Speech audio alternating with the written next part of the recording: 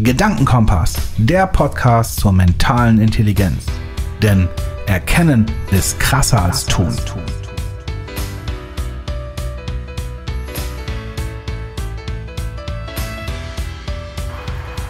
Guten Tag aus der Mitte von Deutschland. Und heute, heute möchte ich mal mit dir über etwas sprechen, was ich total spannend finde. Und zwar ähm, folgende Frage. Muss immer alles einen kausalen Sinn ergeben, was wir tun? Und an sich ist das gerade eben überhaupt gar kein, kein Persönlichkeitsentwicklungsthema oder vielleicht doch, ja, ähm, oder psychologische Geschichte. Nur wenn ich mir Folgendes vorstelle, ich, ich komme da drauf, weil ich einen Podcast von Lanz und Brecht gehört habe, wo über die Sprache ähm, und da vertritt der Herr Precht eine, eine für mich sehr spannende Theorie. Man, äh, und zwar geht es um Kunst und, und um Musik. Und also unter anderem in dem Gespräch. Aber das ist so der Gedanke, der mich gerade eben bewegt. Also äh, die, es gibt Theorien, die besagen, oh ja, die Musik ist entstanden, weil irgendwelche Männchen äh, da an so Knochen rumgeschnitzt haben, reingeblasen haben. Es gab irgendeinen Ton und die fanden das ganz toll und haben gesagt, wow, wenn wir das jetzt hier, wenn ich jetzt auch zwei Töne hier rausbekomme und mich vor die Weibchen stelle, hey, dann sind die mir eher zugeneigt. So, und ich glaube, da hat der Precht recht, das ist Unsinn. Also ich glaube, das ist so ein, wieder so, so ein Erklärungsversuch von einem Erwachsenen, der aus einer romantischen Vorstellung heraus sich die Welt erklärt. Und in dem Fall die Evolution oder Entstehung der Musik. Äh, Herr Precht sagt, wahrscheinlich waren es eher Kinder, die so, so mit so Clown gespielt haben, haben reingeblasen, haben festgestellt, oh guck mal, Ton. Ja, also aus Albernheit. Ja, äh, aus Albernheit ist vielleicht die Musik entstanden und vielleicht sogar unsere Sprache, weil wir sind ja uns gar nicht einig, äh, wie unsere Sprache tatsächlich und warum sie entstehen musste. Ja, es gibt genug andere äh, Wesen auf diesem Planeten, die nicht so eine Sprache sprechen wie wir. Lustigerweise, äh, wahrscheinlich sprechen auch sehr viele Menschen untereinander nicht die gleiche Sprache. Das kennen wir ja auch, indem wir die Missverständnisse, die ja so immer wieder aufkommen, die gewollten Missverständnisse und die nicht gewollten Missverständnisse in unserem Alltag ja erleben. Und weswegen ich das jetzt gerade eben so zum Anlass nehme, diese Folge einzusprechen. Ich bin mir auch gerade gar nicht ganz sicher, ob das so eine, so eine längere Folge wird. Das ist einfach ein Gedankenansatz, den ich dir gerne mitgeben will und vielleicht ja, veröffentliche ich das irgendwie zusätzlich zu einer Podcast-Folge. Mal schauen. Ach, das ist viel zu viel Gedanken. Und darum geht es nämlich. Viel zu viel Gedanken. Viel zu viel Kausalität. Wie erklärst du dir die Welt? Wie erklärst du dir das Verhalten von Menschen? Und aus welchem Hintergrund erklärst du dir das Verhalten anderer Menschen? Und jetzt kommen wir wieder auf diese ganzen Interpretationen. Ne? Der mag mich nicht, der ist wütend, der ist böse, der ist rechts, der ist links, der ist diese ganzen Bullshit-Gedanken, die wir uns machen, den ganzen Tag auch über andere Menschen. Und wo kommen denn diese Gedanken her? Und es gibt ja dieses wunderbare äh, Sprichwort, ne, was Hans über Hänschen sagt, sagt mehr über Hans aus als über Hänschen. Und jetzt kommen wir mal in die Wissenschaft. Leute, die erklären wollen, warum Musik entstanden ist. Und jetzt ist meine Interpretation, ja, vielleicht, ja, war derjenige, der gesagt hat, ja, das haben Männer gemacht, ne, die so da rumgeschnitzt haben und da kam Ton raus und dann war das für die ähm, für den Geschlechtsakt, also für das Weiterleben des Stammes total wichtig, dass der Musik gemacht hat. Da glaube ich nicht dran. Und ich glaube, das sagt was über ihn aus, über den Menschen aus. Was jetzt genau, weiß ich nicht. Vielleicht eine gewisse Art von Fetisch oder Sexualtrieb oder wie auch immer. Kann ich mir gut vorstellen. Denn bis vor sehr kurzer Zeit wussten wir Menschen gar nicht, inwieweit der Mann an der Fortpflanzung, also beim Entstehen von Kindern, wirklich, wirklich ja, beteiligt war. Weil ganz im Ernst, mit deinem Biologieunterricht, da waren die Menschen früher ja auch nicht ausgestattet. Die wussten nichts von Samen, die darüber ne, und dann Eier befruchten und so. Da hatten die alle keine Ahnung von. Das war nämlich überhaupt nicht wichtig im Leben dieser Menschen. Im Leben dieser Menschen war, ich baue was an und dann erhalte ich die Früchte ne, und solche Geschichten. Und dementsprechend gab es ja auch, bevor es das Patriarch gab, einen Matriarch, weil die Mütter die Kinder in die Welt gesetzt haben und auch deswegen anbetungsmöglich waren.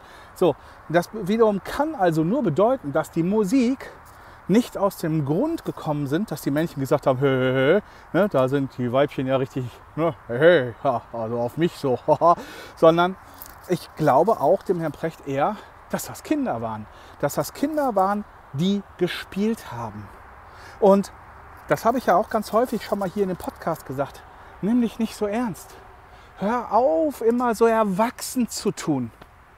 Ich weiß, wir alle sind jetzt mal dreimal sieben und wir sind erwachsen und wir leben in einer Erwachsenenwelt. Ja, ist alles schön und gut. Und, und, und, und, und, und ist das gut so?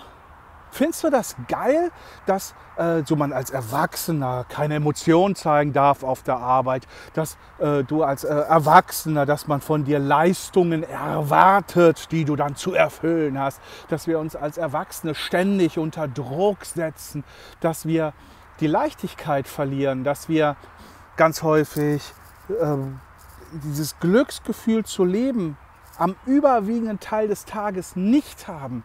Findest du das geil? Also jetzt mal, sagen wir doch mal, komm mal zur Logik. Findest du das cool, dass wir, dass wir alles so ernst nehmen, dass wir, wir immer mehr irgendwie, umso älter wir werden, beziehungsweise je nach äh, sozialen Umfeld, ja, dass wir immer mehr einen Stock im Arsch haben und nicht mehr über uns oder miteinander lachen können? Findest du das geil? Also für deine persönliche Entwicklung, wie willst du denn als Mensch leben und sein? Wie willst du denn die Welt sehen? Wie möchtest du denn ja, dein Leben gestalten. Und es geht halt nicht immer nur um die Frage, ich will ein Häuschen kaufen oder ich will Geld verdienen oder ich will eine Familie in die Welt setzen, sondern vielleicht möchte ich mich ja, am Wunder der Ernte. Also ich stehe gerade vor einem, einem Feld und, und, und ich sehe, wie die Reben langsam aber sicher ja, zum Ernten bereit werden. Und das ist doch das Leben. Dieses Feld, das ernährt Menschen oder auch Tiere. Das heißt, dieser Zyklus, der hier ist, ist es doch ein Wunder, das ist doch Magie. Möchte ich lieber das so sehen oder möchte ich lieber darauf warten, was äh, in meiner Lieblingsserie in der nächsten Staffel wiederkommt? Also wie will ich mein Leben gestalten und wie möchte ich mir meine Welt auch erklären? Und diese Erklärungen sind halt immer das Problem. Die sagen nämlich eine Menge über uns aus. Überleg mal, diese gesamte Evolutionsgeschichte, die wir haben. Früher hat man gesagt, dann hat sich irgendwas entwickelt, dann noch was, dann irgendwie der Mensch, dann der Homo sapiens und so weiter. Also wir alle, oder ich habe das auf jeden Fall in der Schule noch gelernt, ne? das war so ein Strich durch. Ähm, und so haben wir uns entwickelt. Und das stimmt ja gar nicht. Wir wissen mittlerweile, dass das nicht stimmt. Wir können diesen Strich nicht mehr machen. Wir, Im Moment sagen wir, wir sind wie Ostafrika oder so. Ne? Das ist der erste Mensch gewesen, den man gefunden hat. Aber was passiert, wenn wir jetzt in Indien den ersten Mensch finden? Oder Australien? Oder was auch immer. Verstehst du, die, die, die Geschichte unserer Menschheit, die Erklärung, wie wir entstanden sind, die logische Erklärung, die gibt es nicht mehr. Und es gibt übrigens auch die Erklärung, äh, warum nur wir sprechen können, ist tatsächlich eine, eine, eine, ein Rätsel, denn Affen können theoretisch reden. Ja, die können nur das I nicht aussprechen.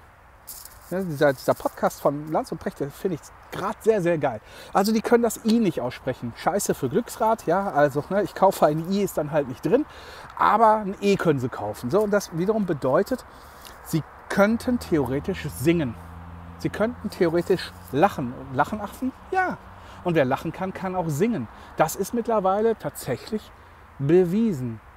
Und es gibt ja auch so viele Menschen, die sagen, ja, ich kann nicht singen. Und dann frage ich immer, kannst du denn nicht lachen? Und sage, ja, natürlich kann ich lachen. Dann sage ich, du kannst auch singen. Weil wer lachen kann, kann auch singen. Sehr spannend, sich vielleicht mal damit zu beschäftigen. Auch für dich, der du vielleicht immer mal singen wolltest und dich nicht getraut hat, weil irgendein Penner dir gesagt hast, du solltest besser nicht singen. Und das ist genau das. Womit erklärst du dir die Welt? Und Warum müssen wir immer so erwachsen sein? Wann erlaubst du dir denn mal wieder Kind zu sein? Wann erlaubst du dir denn mal die Welt mit einem anderen Blick zu sehen, als du den gerade tust, einem verspielten Blick? Als ich irgendwann mal jemandem erzählt habe, ich habe drei Hauptwerte. Das ist Ehrlichkeit, ja, und einer davon ist Spaß haben. Und dann sagte zu mir, Jan, der Wert Spaß steht in keiner Wertetabelle. Da habe ich ihn angeguckt und habe gesagt, das ist mir doch scheißegal. Ich habe herausgearbeitet, dass das Wort Spaß mein Wert ist. Ja, ich könnte das ersetzen über Freude oder andere Dinge, die in so Wertetabellen drin steht, aber das will ich auch gar nicht. Ja? Mein Wort ist Spaß. Ich möchte Spaß haben. Und Spaß bedeutet auch mal albern sein. Spaß bedeutet auch mal Dinge ausprobieren oder sich äh, anders darstellen, als das man vorher gemacht hat. Und Spaß bedeutet Lachen und Leichtigkeit. Für mich. Nur für mich. Ob du das so siehst, ist, ist auch erstmal völlig egal. Denn du definierst Spaß für dich. Und jetzt nochmal, du definierst Spaß für dich. Du gestaltest deine Welt. Das wiederum bedeutet, wie erklärst du dir deine Welt und wie erklärst du dir dein Wertesystem und soll das so sein? Brauchst du das? Brauchst du, welche Erklärung brauchst du, damit du beruhigt leben kannst und welche Erklärung brauchst du, damit du vielleicht neugierig bist? Und das sind ganz, ganz wichtige Dinge, denn wenn du das nicht weißt und dich nicht beobachtest und jetzt kommen wir wieder zur mentalen Intelligenz, wenn du nicht fähig bist, das bei dir zu hinterfragen, dann kann das passieren, dass du einen Opfergedanken hast, weil ich kann das nicht ändern. Ja, irgendwas wird auf mich aufgedrückt, ich bin ein Opfer, ich kann nicht mehr selbst arbeiten, ich kann nicht mehr selbst handeln, ich muss ja funktionieren. Und jetzt frage ich dich, wie häufig musst du funktionieren und hast du da Bock drauf? Also, wie häufig musst du funktionieren und wie häufig hast du Bock darauf? Denn das ist, glaube ich, eine der elementarsten Fragen dieser Welt. Denn für alles wird es eine Lösung geben. Jetzt können Leute sagen, ja, ich habe Kinder, dann muss ich funktionieren. Okay? Keine Frage. Ja, wenn du Kinder hast, hast du eine gewisse Verantwortung. Du kannst dich natürlich immer entscheiden, diese Verantwortung abzugeben, äh, was eine liebende Mutter meiner Meinung nach nicht tut. Also in dem Fall, es gibt immer, ihr wisst, ne, äh, Ausnahmen bestätigen immer die Regeln. Ja? Also für jemand, der jetzt vielleicht sein Kind abgeben musste und, und ihr wisst das, ja, dass ich das jetzt euch nicht verurteile, sondern ähm, dann musst du natürlich funktionieren. Du musst ja für die Kinder da sein. Die sind ja abhängig von dir. So, darum, darauf will ich hinaus. Ne? Die Kinder sind ja erstmal abhängig von dir, aber musst du so funktionieren, wie du gerade funktionierst? Oder kannst du auch anders funktionieren? Das ist eine Frage, die wir uns ganz selten stellen. Ja? Kann ich äh, meine Art und Weise, wie ich ins Büro fahre und dort arbeite, kann ich das ändern? Kann ich meine Art der Kommunikation ändern oder muss ich so kommunizieren, wie ich kommuniziere? Und es ist halt immer deine Entscheidung, ob du etwas musst oder nicht oder ob du etwas kannst oder nicht. Denn auch darüber habe ich ja schon mal gesprochen, wenn du davon überzeugt bist, dass du die Wahrheit mit Löffeln gefressen hast, ja, dass das wahr ist, was du denkst, dann ist das für dich wahr. So, da kann, kann ich nichts und kein anderer Mensch irgendwas äh, dran ändern. Und auch hier wieder. Woran glaubst du wieder? Der Glaube, ne? Diese, diese ganze Geschichte.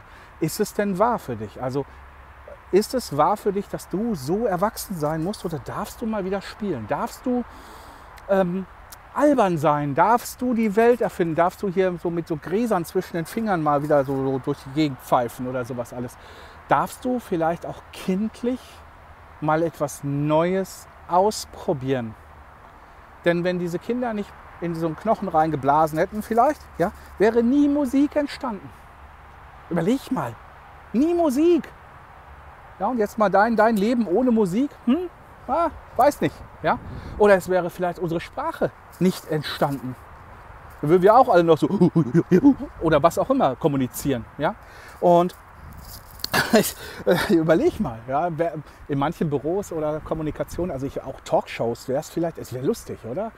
äh, könnte man sich ja irgendwann mal wieder vorstellen, wenn man so eine Talkshow sieht, wo Leute nur Bullshit voneinander sind, dass du, dass du einfach mal ein paar Affengeräusche reindenkst, dann ist das wenigstens witzig, was die da sagen. Naja, ist auch egal, aber auch hier, komm, ja, sei albern. Wenn du irgendwelche Dinge hast, die dich aufregen, das habe ich ja irgendwann mal gesagt, auch mit Gedanken, die immer wieder kommen, die dich runterziehen, gib den lustigen Namen. Sei albern. Nimm dich nicht immer so ernst. Menschen, die sich immer nur ernst nehmen, die wollen alle anderen missionieren. Und jetzt ist die Frage, bist du so weise? Hast du das Recht, andere zu missionieren? Und wer hat dir das Recht gegeben? Und wenn du dir selber das Recht genommen hast, dann darfst du akzeptieren, dass es auch andere gibt, die sich auch dieses Recht nehmen und danach hast du ein Problem. Also nochmal, wann warst du das letzte Mal albern? Und jetzt noch viel wichtiger, wann wirst du demnächst mal albern sein? Hm? Für den Gedanken, der dir jetzt hochgekommen ist, gratuliere ich dir, denn den solltest du sofort terminieren. Und wenn du sagst nie, ja, dann ist es auch okay. Ja? Also in meiner Welt fände ich schade für dich, aber es ist halt meine Welt. So, für heute sage ich, sei albern. Und wann bist du es? Und wann probierst du die Welt mal wieder aus einer anderen Sicht zu sehen? Gerne aus einer albernen Sicht. Und nimm das nicht immer alles so ernst und alle Erklärungsversuche, die du hast, ja, die geben dir Kraft und die geben dir Sicherheit, aber bitte, bitte, bitte, bitte, nimm sie nicht als unverrückbar, denn das sind sie nicht. Das können sie gar nicht sein. So, für heute sage ich, stay albern und bis dann, der Jan.